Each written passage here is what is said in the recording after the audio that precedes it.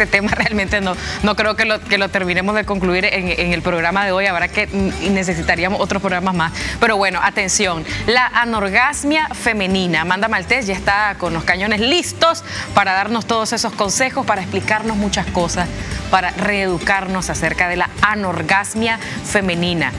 Obviamente hay que empezar definiendo qué es el orgasmo para luego decir qué es la anorgasmia, qué es lo, antagónico. Bienvenida, mi estimada. Buenos días y feliz año nuevo para todas las personas que no me habían visto en el canal porque no había venido.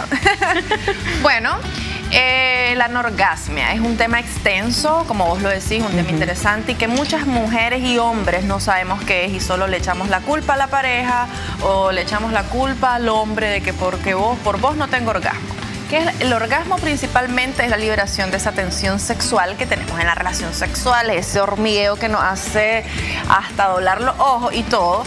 Entonces, cuando tenemos anorgasmia, las mujeres no podemos mantener tanta excitación sexual cuando estamos en una relación sexual. Se puede decir que la anorgasmia es la falta de, la ausencia del de orgasmo. De este Exactamente. no puedes tener un orgasmo y el 95% de las causas de la anorgasmia es por causa psicológica y el 5% son de las causas de las que vamos a hablar más. Una de las causas principales es cuando no tenemos una conexión con nuestra pareja y estamos hablando de las, de las causas psicológicas.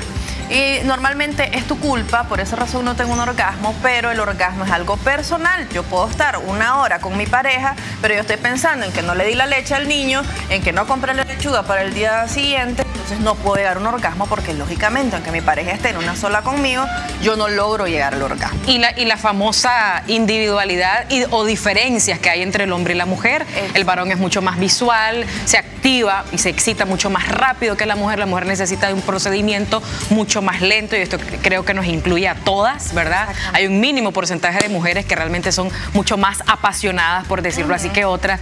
Pero ¿Cuáles, ¿Cuáles son este 5% de estas causas que no serían psicológicas para que nos aclaremos? Primero vamos a dividirlos en dos para que podamos comprender la diferencia. Vamos a hablar de las causas psicológicas inicialmente. ¿Cuáles serían las causas psicológicas? Problemas de pareja, el aburrimiento sexual con tu pareja, hacen lo mismo siempre. El complejo, chica, puede ser... El complejo, el no estar bien con tu cuerpo, el sentirte gorda, el sentirte fea, el tener pensamientos religiosos en el sentido de eh, Dios me está viendo, no puedo tener un orgasmo. Ya, ya espérame que te porten esa... Ajá, seguir contando. Eh, otra cosa es tener problemas con tu pareja y que lo vaya arrastrando, arrastrando, los resentimientos, la falta de comunicación, eh, la falta de confianza en decirle a una persona, mira, me gusta que toques este botoncito porque esto me activa la excitación sexual, o besame más o tócame más. Eh, la masturbación es algo que nos ayuda a las mujeres a conocer cómo y de qué manera llegamos más rápido al orgasmo. Y sobre todo, darnos placer a nosotras mismas. Si el hombre no es el 100% responsable de darnos placer, es un complemento, pero nosotras somos las responsables de conocer nuestro cuerpo. Pero vos dijiste algo clave, que es la conexión entre la, pareja, o sea, no solo conocernos nosotras mismas, sino los dos conectarnos, porque ¿qué pasa? Que es lo que sucede típicamente, la mayoría de los varones finaliza primero su orgasmo antes que él. El egoísmo, exactamente. ¿Y entonces qué pasa ahí? ¿Qué se puede hacer? Es otra cosa.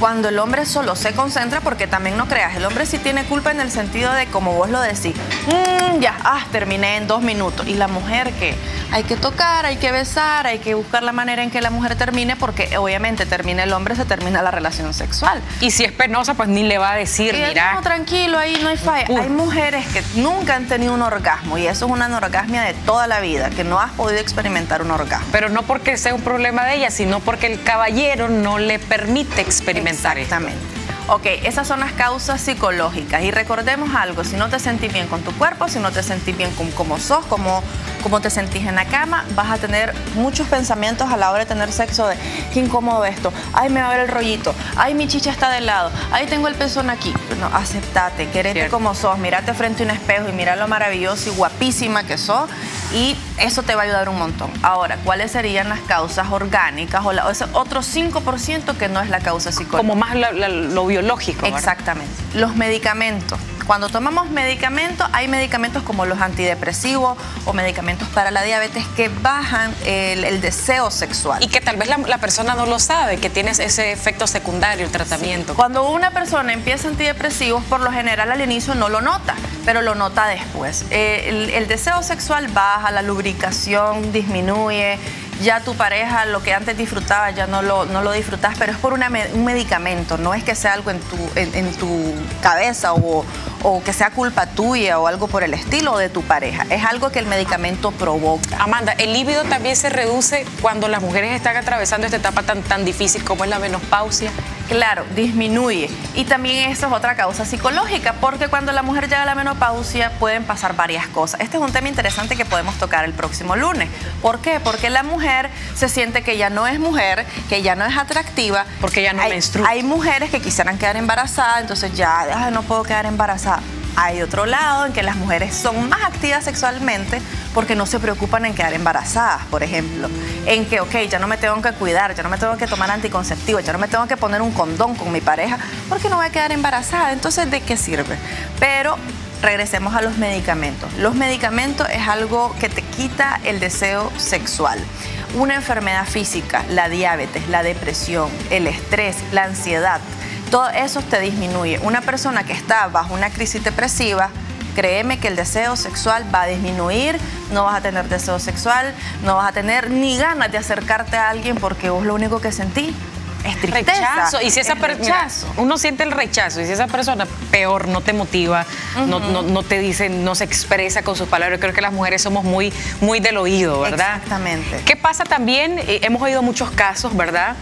Y este doctora Corazón, eh, de, mujeres que, que nos dicen, yo desde que tuve a mis hijos, yo ya perdí el deseo sexual hacia mi esposo. O, esposos que se quejan.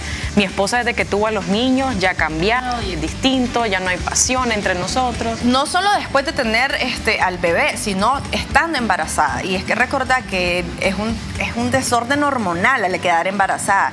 Y después, al terminar tu embarazo, pasas un proceso hormonal como para regresar a lo que eras antes, ¿me entiendes? Incluso tu regla cambia tus periodos. Si te bajaba un 5, posiblemente después de tu embarazo te va a bajar un 15. Wow. Entonces vos tenés que ir conociendo tu cuerpo y hay algo importante en esto. Eh, conozcan los ciclos menstruales. Desde niños, adolescentes, tenemos que enseñarles a las niñas cómo funciona. Hay que enseñarles que hay días fértiles, hay que enseñar que hay días en los que tu líbido está más bajo. Eh, cuando te va a venir la regla, tu líbido va a subir porque obviamente tus hormonas suben. Entonces hay que conocer tu ciclo menstrual. ¿Qué día del mes te pones más triste? ¿Qué día del mes tenés más deseo, qué día del mes no tenés tanto deseo. Pero hay cosas, Aminta, que te ayudan a tener deseo sexual. Miren. Y el no tener pena, el, poder comunicarse con la pareja, ¿verdad? Hay algo súper importantísimo en esto de la anorgasmia. Y es que si vos no estás consciente de que la anorgasmia es algo psicológico, lo vas a ir arrastrando de relación en relación, no importa que estés con el hombre mejor amante del mundo. Pero si vos no te sentís bien con vos misma, no vas a tener un orgasmo. Ahora, existen distintos tipos de anorgasmia. Está la anorgasmia circunstancial, que es, por ejemplo, cuando tomas un medicamento.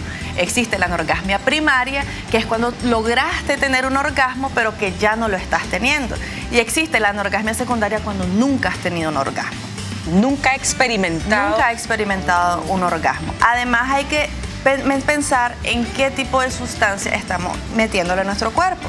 Alcohol, cocaína, eh, no sé qué tipo de drogas podemos meternos, piedra, crack, o sea, todas esas cosas.